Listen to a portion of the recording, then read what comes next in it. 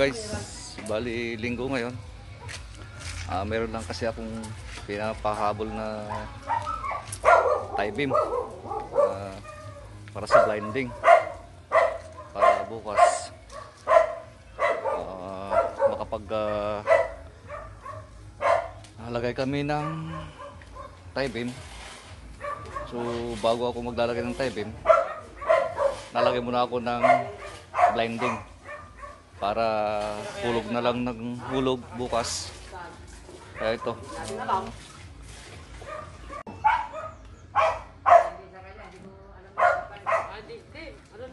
sige lang, basta't boss lang, ako lang bala. Eh.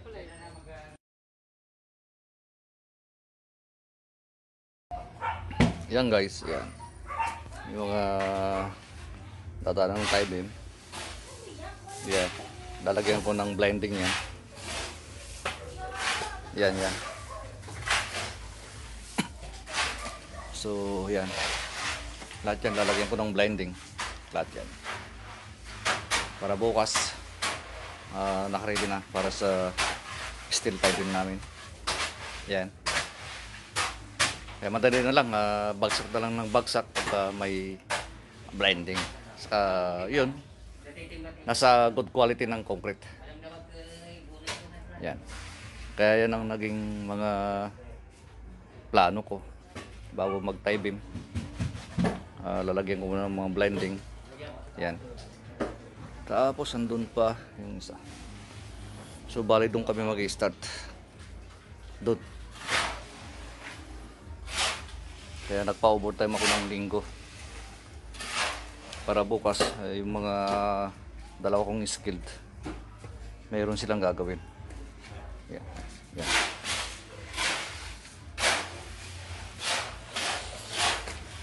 Yan.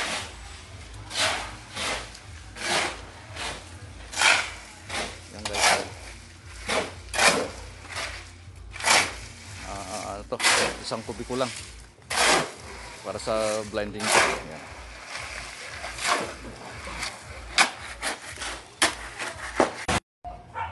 Yan guys, yan. Yung mga dadaan ng tie beam. Yan. Lalagyan ko ng blinding yan. Yan, yan. So, yan. Lahat yan lalagyan ko ng blinding. Lahat yan. Para bukas, ah nakaready na para sa steel tie beam namin. Yan. Kaya madali na lang, ah, bagsak na lang ng bagsak pagka may blinding.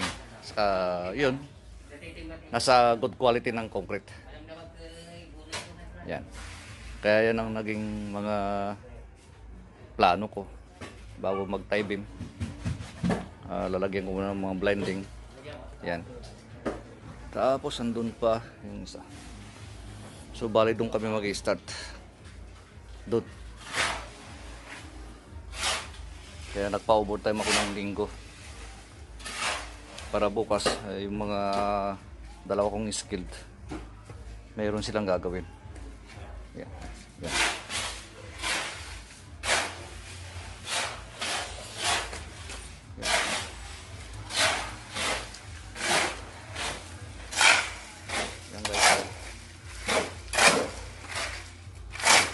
Ah, ito, isang kubiko lang para sa blinding ko. Yan.